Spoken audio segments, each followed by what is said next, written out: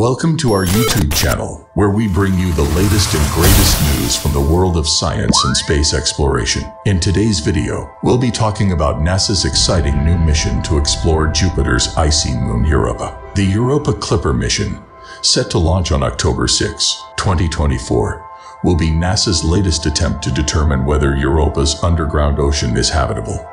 With a $5 billion spacecraft scheduled to blast off from Kennedy Space Center atop a SpaceX Falcon Heavy rocket, this mission promises to be one of the most ambitious yet. Europa, discovered in 1610 by Italian astronomer Galileo Galilei, is one of the most promising places in the solar system to search for life beyond Earth, according to scientists.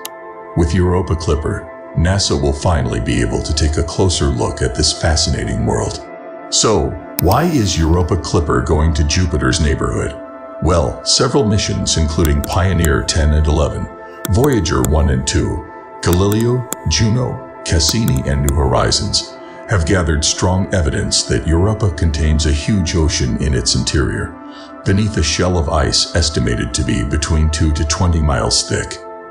Astrobiologists wonder if where there is water, there could also be life. Europa Clipper will make at least 45 close flybys of the Jovian moon, allowing the spacecraft to pass over a different part of the moon each time to survey the entire surface. From the spacecraft's vantage point, high above Europa's surface, Europa Clipper should be able to find out whether the conditions in Europa's ocean are suitable for life as we know it. But why is Europa Clipper going to orbit Jupiter instead of Europa?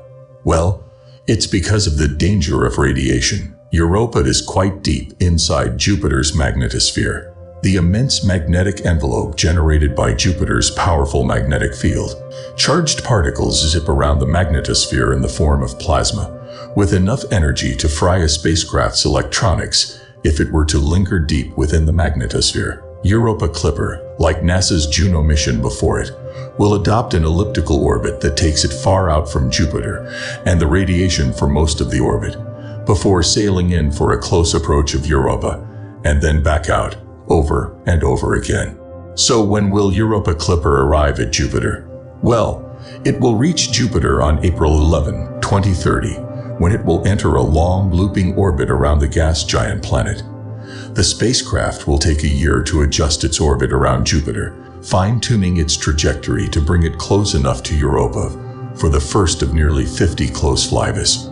In conclusion, the Europa Clipper mission promises to be one of the most exciting missions in the history of space exploration. With its ambitious goals to determine whether Europa's underground ocean is habitable, this mission will pave the way for future missions to explore the outer planets of our solar system. Thanks for watching. If you enjoyed this video, please hit the like button and subscribe to our channel for more exciting updates from the world of science and space exploration.